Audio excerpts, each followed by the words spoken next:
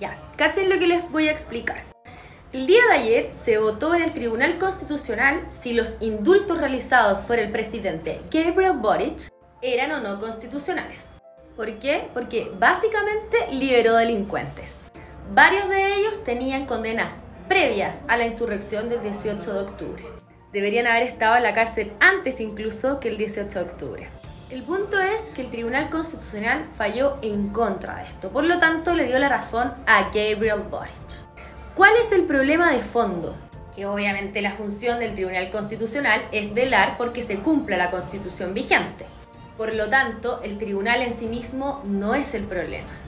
El problema es cómo se designan los miembros del Tribunal Constitucional. Y se los voy a decir. Tres electos por el presidente. Por lo tanto, si el presidente comete un acto de inconstitucionalidad, tiene tres adentro que van a estar en favor de él. Cuatro electos por el Congreso. Misma historia. Y tres son electos por la Corte Suprema en voto secreto. Y a lo que quiero llegar es que el Tribunal Constitucional debiera ser un organismo técnico, no político.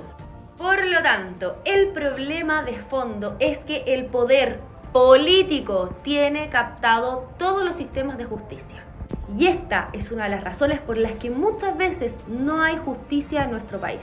Y para que se entienda bien el punto, generalmente los indultos presidenciales, que efectivamente es algo que pueden hacer los presidentes, son para sacar de la cárcel a presos que son enfermos terminales, que son viejos, algo en relación a temas humanitarios, no temas políticos. Y mucho menos cuando los delincuentes pueden seguir representando un riesgo para la sociedad, como es precisamente en este caso.